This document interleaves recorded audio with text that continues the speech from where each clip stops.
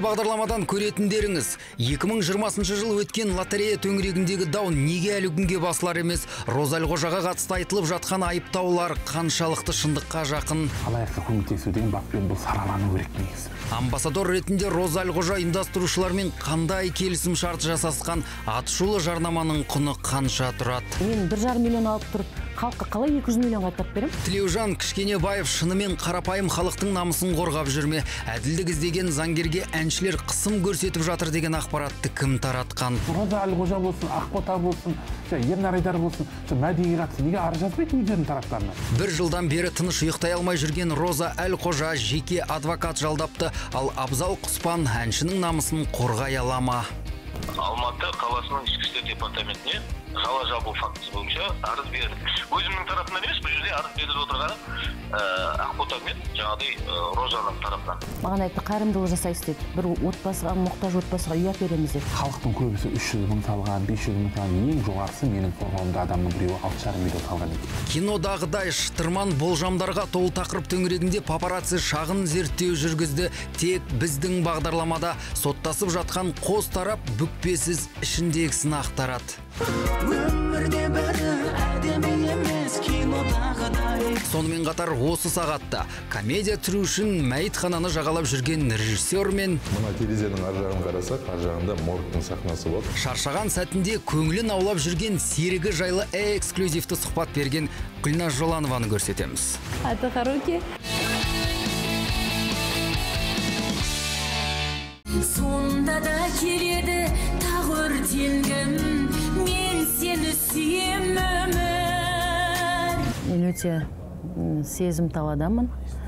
Ә, күн сайын жаңа әлеуметтік желіде бір артық сөздер жазылып жатады Ә, мән бермеуге тырысамын енді бірақ бәрібір әсер етеді. Бүгінде роза әлқожаның күндіз күлкі түнде ұйқыдан айырылғанына бір жылдан астам уақыт болыпты. Тіпті жесаңдай әнші әлі күнге дейін күйзелістен шыға алмай жүрмін дейді. Естеріңізге сала кетсек өткен жылы инстаграм желісінде гиф ұйымдастырып жарнама жасаған өнер иесін артынша ұйымдастырушылар әлекке салып алдап кеткен. Біз ұтыс ойынын ашық деп жариялаймыз.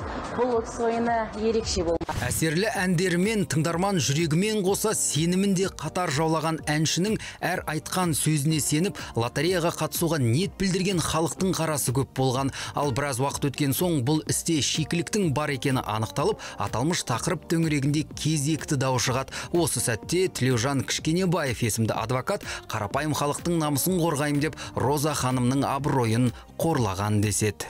Ол кісі енді тәубесіне келіп жатқан сияқты да. Ол кәсіби адвокат қой. Ол кісі келісім шартты менен сұраған жоқ. Сен келісім шартың бар ма? деген жоқ. Роза осы істі бірігіп жасайық деп айтқан жоқ. Өзінен өзі бізді қаралай бас- қаралай берді қаралай берді. Екі жыл болды қаралап келе жатқанына шын мәнінде ол кісі мықты адвокат болса а, шын алаяқтарды ұстау керек қой. Енді қайнап жатыр. жаңағы мәди ә, азат деген жігіттер ғой ұйымдастырған. Неге соларды мысалы ә, үстінен іс қозғамайды. Неге? Соларды табуға тырыспайды. Жарнамасында әншілер қалай көрсетіп отыр мысалы ақбота керімбекова жарнамасында айтып отыр өзімнің ойыныма қатысуға шақырамын дейді. Өзімнің ойыныма ол бұл жерде басқа біреудің ойынына жарнама жасап тұрған жоқ. Азат мәди саламаттардың ойынына қатысыңдар әділ болады мен білемін олар ондай жігіттер емес деп айтып тұрған жоқ. Ол өзімнің ойыныма деп тұр. Енді халық қалай түсіну керек өзінің ойына шақырып тұрған екен? Оны халық білмейді оның артында кімдер бар екенін мәселенің мән жайын толық тарқатып айтпас бұрын лотерея ойындарына қатысты даудың хронологиясын еске түсірсек. 2019 жылы ә, жаңағы әншілер қауымы жаңа лотерея ойындарын ұйымдастырып өздері жарнама жасауды бастады. Ә, сол кезде алғашқы ойындарды мына жазира мен жанболат бастаған өздерінің билет сату арқылы жаңағы билет алуларыңызға болады деген сияқты ә, лотерея ойындарын ұйымдастырды. Ә, одан кейін ә, соны жалғастырып әрі қарай роза әлқожа жалғастырды. Ә, одан кейін ақбота керімбекова жалғастырды. Кейіннен ернар айдар соңынан қорытындылады деп айтсақ та болады. Себебі осы ернар айдардың лотерея ойындарын ойнатып жатқан кезде жарнама жасап содан кейін ойнатып жатқан кезде өздеріңіз көрдіңіздер жаңағы алматы қаласы экономикалық тергеу департаментінің қызметкерлері м, ойынның үстінде баса көктеп кіріп жаңағы лотерея ойындарын тоқтатқан болатын. Иә ернар айдардың тікелей эфирде тұтқындалған сәті әлі күнге елесінде. Ол кезде де біраз тыңдарманның сенімі ақталмай алданып қалған жұрт жан айқайын айтып бірнеше ай шуласқан еді. Ә, үш бірдей автокөліктің бәрі жалға алынған автокөлік болды. Ешқандай да ұтысқа тігілетін машина емес болып анықталды. Және де жаңағы тұрғын үйде отқан пәтерлердің бәрі ондай жоқ пәтерлер болып шықты. Ә, бірақ жаңағы сол ұтқа, ұтты деген адамдардың бәрі жалған адамдар болып шықты. Десе де біз бүгін роза әлқожаға қатысты тақырыпты талқылап шағын зерттеу жүргізіп көрмекпіз. Эфир барысында екі тараптың да өз ойларын еркін айтуына уақыт беріледі. Ендеше экран алдына жақсылап жайғасыңыз. Маған айтты қайырымдылық жасайсыз деді бір отбасыға мұқтаж отбасыға үй әпереміз деді. Шынымен ол от- отбасыға біз бардық. Мен өзім көзіммен көріп жылап қайттым сол жерден. Өйткені анасы мылқау әкесі мылқау баласы мылқау тек қызы ғана сөйлейді. Сол отбасыға үй әпердік шынымен де он шақты отбасыға көмір түсіріп берді. Қаншама үйге азық түлік апардық. Шынымен де қайырымдылық жасадық. Мен оның ол кезде әділ өтпеген қайдан білемін мұқтаж жандарға көмек көрсетіп тегін баспана сыйлаудан басталған гифтің кейінгі кезеңі инвестиция салу тақырыбы бойынша өрбіген. Бай болудың жаңа жолын ұсынған ұйымдастырушылар әрбір салымшының қаражатын біраз уақыт өткен соң еселеп қайтарып беретінін айтыпты. Ал мұндай батпан құйрыққа барар жолды жарнамалауға келісім берген өнер иелері толық ақпарат алу үшін менеджерлерге хабарласыңыз деп сілтеме жасау керек болған. Сосын халық сол менеджерлеріне хабарласып билет сатып ала бастайды. Сол кезде халық билет сатып алып жатқан кезде осы менеджерлері арнайы халыққа шат ашады шат ашып ә, соларға жаңағы ә, жаңағы басқа да ұсыныстар айта бастайды. Яғни инвестиция деп жаңа ақша құю арқылы ақшаларын көбейтудің тағы бір жолдары бар. Мына біздің лотерея ойындары болам дегенге дейін уақыт бар. Мысалы жиырма күн уақытымыз он бес күн уақытымыз. Соның арасында сіздер ә, қарап жатпай ақша табудың жолы бар. Бұл жаңа бұл ойын жаңа инвестиция деген әділ шынайы және халал болады дейді. Жеңіл әрі тез ең бастысы адал жолмен ақша табасыз деген жарнама құлаққа жағымды естіліп талай адам инвестор болуға асығып соңында бір тиынсыз далада қалған. Халықтың көбісі 300 мың салған 500 мың салған ең жоғарысы менің қорғауымда адамның біреуі алты жарым миллион салған екен. Ол алты жарым миллион осы жазира мен жанболаттың жаңағы жарнамасынан кейін болған жағдай. Ол жерде ол ә, 15 күн ішінде алты жарым миллионнан 13 миллион қылып көбейтіп беремін дейді. Соған бұлар енді ә, өздерінің жаңағы депозитке жинап жүрген қанша жылғы табыстарын алып соған беріп сол енді 15 күнде ақша алып жатсақ үй ала қоямыз деген сияқты. Бұл тұста роза әлқожа гиф ұйымдастырушылармен тек бір айға ғана келісім шарт жасасқанын айтты. Яғни одан кейінгі процеске халықтың ақша салып тез байып кетуіне тырысуына әншінің еш қатысы жоқ екен. Менен кейін инвестиция алған. Халықтан халықтың өзінің сауатсыздығы. Сіз туысқаныңызға ақша беретін кезде ойланасыз ғой бес мың теңге беретін кезде қайтара ала ма қайтара алмай ма? Әлде осыны қиып жіберем ба? Соған шамам келе ма деп ойланасыз? Мен таңғаламын үш жүз мың салдық бес жүз мың салдық. Қалай ә, ешқандай келісім шарт жоқ. Сол жерде роза болған еді деп бере береді мен таңғаламын. А мен ол жерде жоқпын. Мен шығып кеткенімді ескерттім әлеуметтік желіде жаздым. Роза әлқожа болсын ақбота болсын ернар айдар болсын. Сол мәдиге қатысты неге арыз жазбайды өздерінің тараптарынан? Неге мына халыққа ә, ақшасын алып беру үшін кішкене болса да өздерінің тараптарына ықпал жасамайды? Халық деген солардың ә, жаңа аманат қой мысалы былай айтқан соларға сеніп барып ойнады. Халық соған аманаттап сенгеннен кейін өзінің тағдырын соған сеніп тапсырғаннан кейін әншілер әншілер қысылу керек қой. Ойбай мына адамдар маған сеніп қалды ау а, ана ұйымдастырушыларға емес маған сеніп қалды ау мына халықтың обалына қалдым ау. Мен хотя бы мына жаңағы алдаған адамдарды осыларға да мен де менің тарапымнан арыз жазайын. Менің тарапымнан оларға да қылмыстық іс қозғатайын мен де қудалайын десе онда біз кішкене халыққа да түсіндіріп айтатын міне әншілердің өзіне алданғаннан кейін бұлардың да тарапынан мына алаяқтарға арыз түсіріп жатыр. Шын алаяқтарға қарсы тұрып жатыр деп. Әншілер ұйымдастырған гифке сеніп алданған елу адамның мүддесін қорғап отырған тілеужан кішкенебаев олардың арызын экономикалық тергеу департаментіне жолдаған. Алайда қылмыстық іс тек бір ғана адамға қатысты қозғалып әншілер мен өзге ұйымдастырушылар жауапқа тартылмапты. Жәбірленуші тараптың сенімді өкілі ретінде материалдық шығындардың өтелуін көздеп отырған адвокат әділдік іздеп жүріп роза әлқожаның қарғысына қалдым дейді.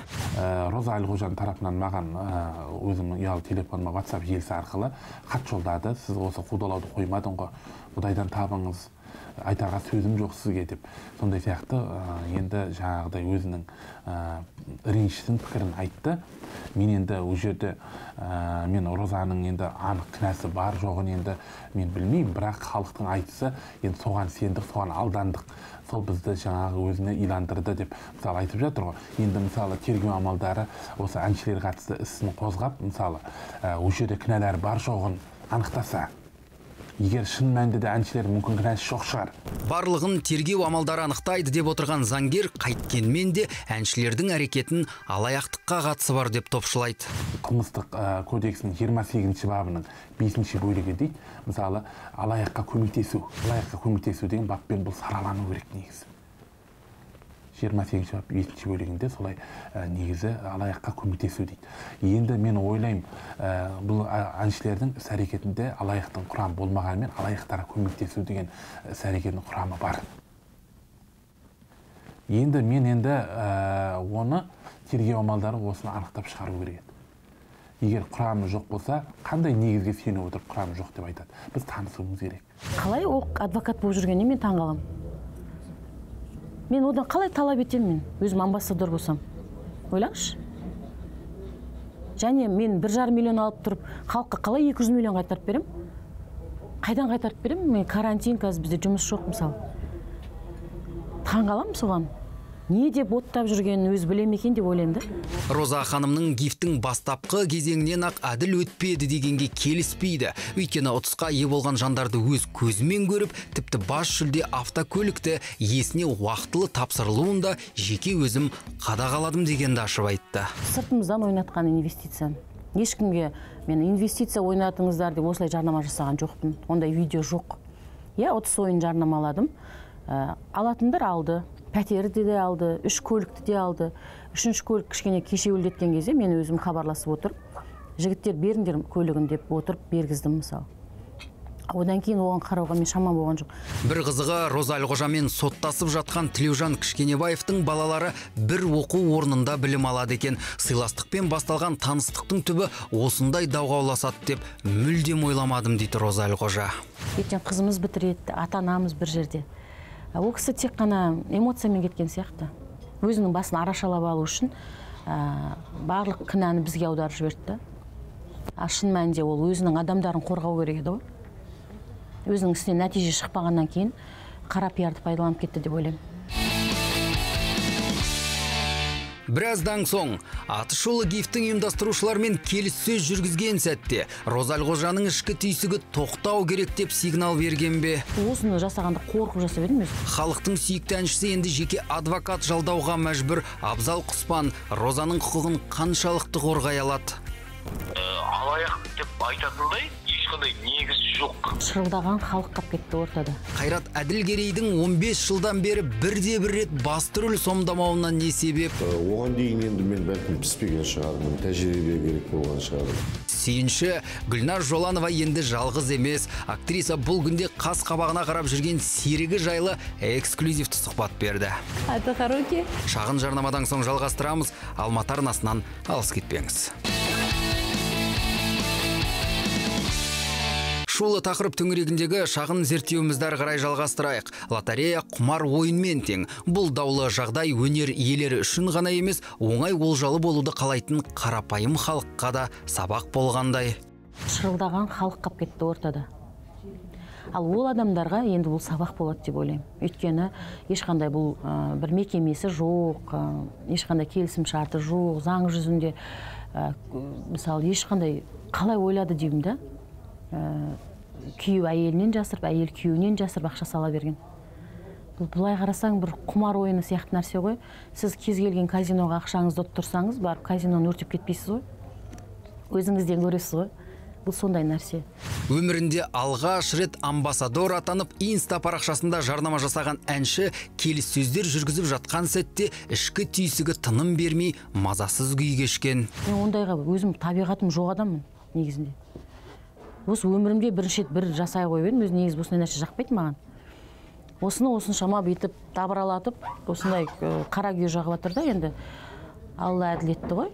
Бірақ екінші жағы тағы бар неден қорықсаң соған тап боласың дейді. Осыны жасағанда қорқып жасап едім өзі тыңдарманға сыйлық ұсынып оларды қуантқысы келген роза ханымның бұл күнде денсаулығы да сыр бере бастаған. Сол себепті әнші кішкенебаев мырзаға қарсы шығу үшін арнайы адвокат жалдап абыройының қажетті деңгейде қорғалуын қамтамасыз етуге кіріскен. Заңды біле тұра қалай ол біреуге жала жабады деп мен оны сотқа беріп жатырмын. Өйткені басқа адамдар да біле жүрсін. Ә, кез келген адам қара күйе жағып қарап отыра беруге болмайтынын ә, қасықтап жинаған абыройымызға ә, біз де араша түскіміз келеді. Біздің де жан, жан жағымызда жақындарымыз бар балаларымыз бар. Біз үшін уайымдайтын ата анамыз бар. Неге ол ә, мысалы мен бір адам емеспін ғой артымда қанша адам бар? Достарым бар бәрі уайымдайды мысалы. Алматы қаласының ішкі істер департаментіне осы факті бойынша жаңағыдай э, жала жабу фактісі бойынша э, арыз э, жарияладық арыз бердік өзімнің тарапымнан емес бұл жерде арыз беріліп отырғаны ақбота мен жаңағыдай розаның тарапынан. Енді қазір қараңыздар мен енді бүкіл осыған қатысты фактілердің бәрін қарап отырмын. Алаяқ деп айтатындай ешқандай негіз жоқ. Біріншіден конституцияның жетпіс жетінші бабы бар. Қазір көптеген журналистер осыны бұзып жатыр. Роза мен ақботаны алаяқ деу арқылы айқайлатып сондай ә, тақырып қою арқылы. Роза әлқожаның құқығын қорғауға белсене кіріскен абзал құспан сұхбат барысында мынадай ақпаратпен де бөлісті. Мысалы үшін екі мың он тоғызыншы жылдың ә, аяғында екі мың жиырмасыншы жылдың басында дәл осының жарнама жасап жатқан кезде артынан жаңағыдай өздері жаңағы осы жарнамаға қатынасқан адамдар одан бөлек мына ұйымдастырушылар мен әншілердің қатысуынсыз бөлек бір чат құрып алып сол арқылы өзін бұлмен жаңағыдай ақша алуға қатысатындығын ол кезде кім білді инвестиция деп енді өтірік ат қойып қойған аналар инвестиция жасаған ақша табасыздар деп. Ал ол жерде әншілер қатынаспайды бірде бір жерінде бірде бір сөзінде ең болмаса бір не айтамын мына ақбота мен ыыы розаның ең болмаса мынау смс хабарламасы болса бір біріне жазысқан. Иә мен білемін инвестицияға қатысы бар ақша салғандар деп. онда мен түсінемін онда. Онда мен түсінемін инвестицияға қатысы бар деп дәл осы атышулы тақырып бастау алған сәтте тілеужан кішкенебаевтың 2017 жылы жабылған жағымсыз ісі қайта қаралып адвокаттық қызметін тоқтатуы туралы шешім қабылданған. Ал заңгер мырза мұндай қастандыққа онымен жауласып жүрген әртістердің қатысы болуы мүмкін дейді. Әншілердің де ықпалы болуы мүмкін деп ойлаймын. Өйткені ә, әншілер ә, мен қайта қайта мына телевидениеда сұхбат беріп осы әншілерге қатысты ешқандай тергеу амалдары жүрмей жатыр. Халықтың ақшасын қайтармай жатыр. Халықты енді өзіне шақырып ойындарына енді жеме жемегенде енді ақшасын беруге де я көмектеспей жатыр деп мен сондай шағымданғанмын. Содан кейін әншілер тарапынан жаңағыдай ренжістер түскен маған енді. Ә, енді мен ойлаймын сол әншілердің тарапынан да мүмкін болып отыр ықпалы. Ал абзал құспан дәл осындай дәйексіз ақпараттар үшін кішкенебаев мырзаның көпшілік алдына шығып роза ханымнан кешірім сұрауын талап етіп отыр. Ол кәдімгі елдің алдына шығып кәдімгі ашық түрде кешірім сұрау керек. Мәселе осында болып тұр ғой қазір. Көрдіңіз бе мен ол жерде ай- ондайды айтқан жоқпын осылай осылай. Бірақ енді ол айтқан сөзі кетіп қалды енді ол айтқан сөзі үшін жауап беру керек бұл жерде. шынымды айтсам өзім әнім қайда сәнім қайда өзім кішкене тоқтап тұрмын тоқыраудамын. Сансыз айыптаулардың әсерінен күйзеліп шығармашылық тоқырауға ұшыраған әнші қазіргі уақытта көптеген жобаларда төбе көрсетуден бас тартып жүр. Тек біздің арнаға эксклюзивті тұрғыда сұхбат берген қос тараптың даулы мәселесі қалай шешілетінін тілшілеріміз бақылауда ұстайтын болады. Әзірге аталмыш тақырып төңірегінде айтарымыз осы. Бағдарламамызды әрі қарай жағымды форматтағы сүйінші жаңалықтармен жалғастырсақ. Мәселен, актер ретінде 15 жылдан бері еңбектеніп келе жатқан Қайрат Әділгерей өмірінде бірінші рет кинода басты рөл сомдайтын болыпты. Тимур Дулатов режиссерлік еткен Хатябов кино комедиясының сценарийі де актердің образына сәйкес жазылған. Оған дейін енді мен бәлкім піспеген шығармын тәжірибе керек болған шығар бәлкім осыдан бір үш төрт жыл бұрын егер де маған басты рөл берсе мен ә, ол яғни ол рөлге енді алып шыға алмауым мүмкін бе еді деп ойлаймын да. Яғни бәрі өзінің орнымен уақытыменен Ә, мен осы кино саласында 2006-дан бері келе жатырмын 15 жыл бері. Оған дейін кішкентай рөлдер ойнайтынмын эпизодтар ойнайтынмын сөйтіп сөйтіп сөйтіп қазір өсіп пісіп осы ә, 15 жылдан кейін басты рөл маған бұйырып тұр екен кинотуындыда қайрат әділгерей әкімнің рөлін сомдайды. Айтуынша алғашқы басты рөл болғандықтан өзі де барын салмақ. Ал кинода өрбитін тақырыптың сюжеті көрерменді бейжай қалдырмайтынына толық сенімді. Бұл өте бір сәтті шығатын жоба деп ойлаймын. Халықтың көңілінен шығады. Өйткені өзекті тақырыптар қозғалады. Қазіргі қоғамда болып жатқан проблемалар сол проблеманы ә, жоғарыдағылар қалай шешіп жатыр сол проблемамен ә, қарапайым қалай халық қалай күресіп жатыр сол туралы біраз бір ауқымды тақырыптарды қозғайтын болады. Дубляж саласында да 10 жылдан аса тәжірибесі бар актер бұл талантының кинодағы образын аша түсуіне көмектесетінін жасырмады. Әрине көмектеседі. Өйткені мен 15 жылдан бері дубляж жасап келе жатқан кезде қаншама киноны көремін қаншама образдарды көремін. Соларды қолданамын кейде киноларыма. Кейде ә, өзіме ұнайтын бір екі эпизодтық ә, сәттерді қолданамын деген сияқты. Яғни ол барлығы бір бірінен алыс емес бір тығыз қарым қатынастағы жұмыс болғаннан кейін бір біріне көмегін беріп жатады. Бұл комедияда жаңаша образда бой көрсететін гүлназ жоланова да бар. Ол өзінің рөлі жайлы қысқаша былай деп ақпарат айтты. Жасы 25-ке келген ыыы, акиматта жұмыс істейтін қыз ым, еңбекқор ә, жұмысты жақсы көреді ә, ақылды көрікті ә, момын деп айтсақ та болады дегенмен ішінікте қалған көре жатады көрермен. Әңгіме барысында актриса қазіргі таңда түсірілімнен үйіне шаршап келген шағында көңілін көтеріп сергітетін серігі бар екенін айтып сүйінші сұрады. Туған күніме жақын құрбым мысық сыйлады. Аты харуки.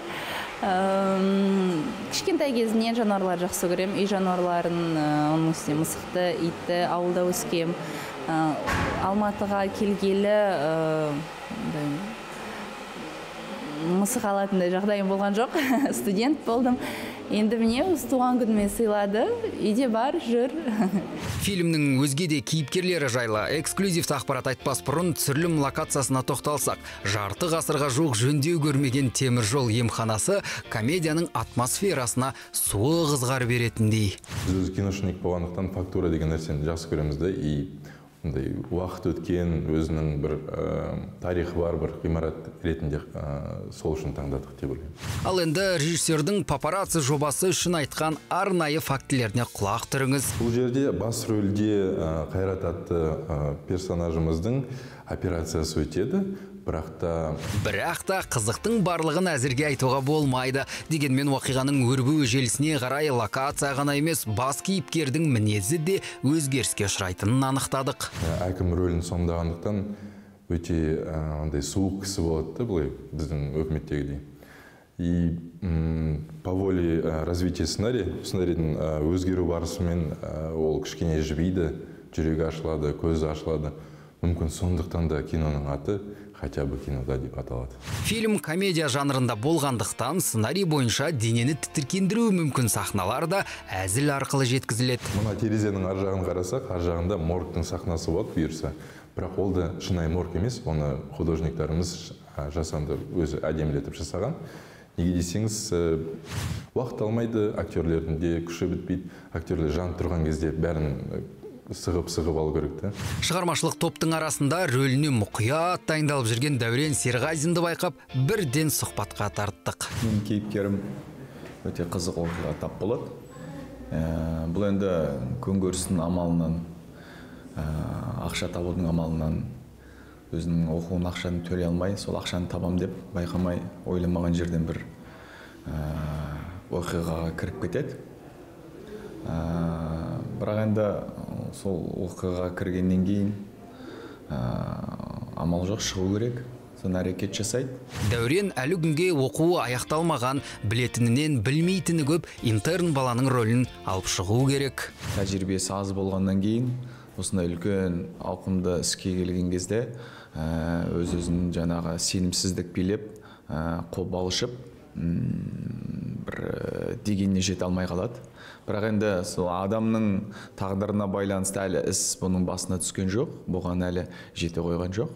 Ә, бірақ сол қобалжу сенімсіздік ә, сол кішкене көп кедергі келтіреді. Шытырман уақиғаға толы комедияда көрермен кішкентай хакерді де байқай алады. Оны сомдайтын 10 жастағы мына актер бала. Диас өте ақылды бала ана хакер сияқты бала. Ол ә, рамазан деген врач новенький. Мен, мені қарайды диасты. Мен ә, взламывать етемін оның инстаграмын солай ойнап жүремін мен.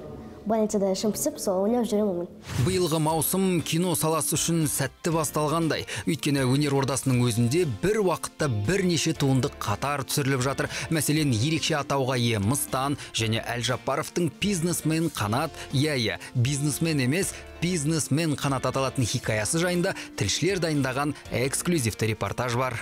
Бұл сериалда мен өзім де ойнап шықтым. Таза қанат әлжаппаров болып ойнап енді? Бір андай образ жасаған жоқпыз басқа біреудің несін ойнаған жоқпыз сондықтан бір оңай болды. Аталмыш туындылар туралы эксклюзивті ақпараттарды алдағы аптадағы эфирде тарқатып айтамыз. Сондықтан алматы арнасы ұсынатын папарацци жобасын үзбей көріңіз. Бүгінге шектеулі уақыт өз мәресіне жетті.